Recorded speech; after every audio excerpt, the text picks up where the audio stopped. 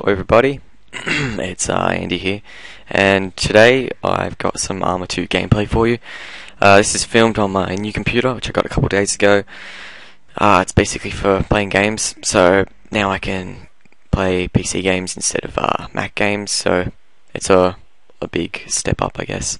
Um, it's um, a custom mission, what I'm playing.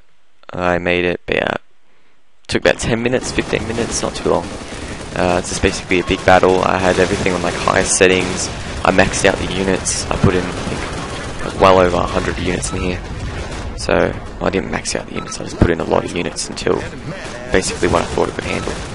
Um, so it's running quite alright here. Um, it's basically a mission where we've got to take out a terrorist threat in a village. I put in about mm, 50 US troops. Uh, convoys, two of them, um, and a big helicopter squad. And uh, yeah, so this is basically the footage of the soldier on foot. Um, basically just hiding behind my tank, letting the guys kind of pick off who they can see.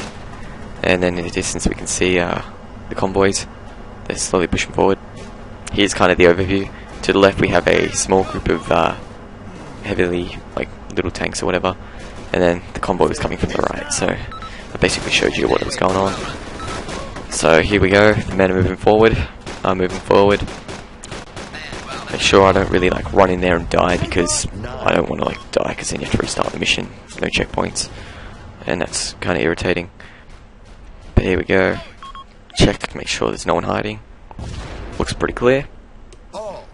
So I tell my men to move there and move forward. Doesn't really work too well. The men kind of just stay where they are. They don't really run too forward. Which kind of sucks, but either way. So here we go. We got some guys on the left who we just saw running forward, just kind of to cover the area. And make sure these corners are clear, because an enemy could just kill you before you know it. So here we see the uh, convoys. Now, they don't just charge into the town, they slowly kind of like, one by one, let a single vehicle forward. So there goes the Humvee, just boom, gone. And then we get to see the derp BMP, who just, yeah, just doesn't even realise that there's a broken BMP in front of him. Uh, or LAV, BMP, LAV, jeez, LAV. Um, now I'm moving forward, still my men aren't like moving forward, so I can't tell them to move forward a bit more. Uh, there's a Humvee out to the left side, and check the corners again, make sure there's no one hiding there. There we go. Then I can't do here, I'll check my map, see uh, see where the boys are at, but they're still kind of held back. Slowly moving forward, but yeah, I'm still kind of like taking point.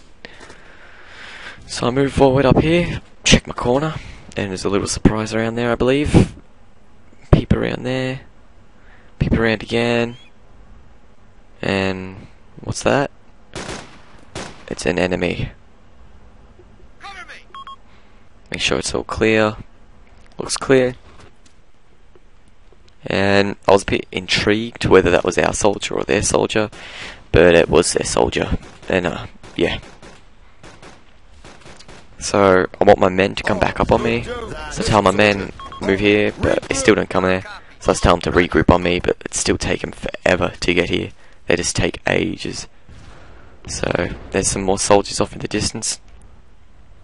And there's some more, and there's my soldiers.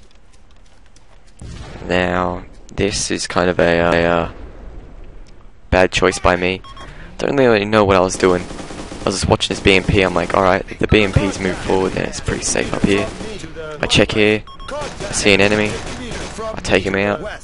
So the area is pretty clear, the BMP's moved forward. I'm like, alright, I might run alongside of the BMP. And, yeah, you guessed it, I jumped over here, I'm like, actually, it's a really bad choice. I don't want to do that. I jumped back and I just got dropped. So, yeah. But I hope you guys enjoyed that uh, video clip.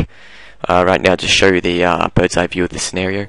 And uh, I hope you enjoyed this video. Uh, if you did, uh, hit that thumbs up button. And comment, rate, and subscribe, guys.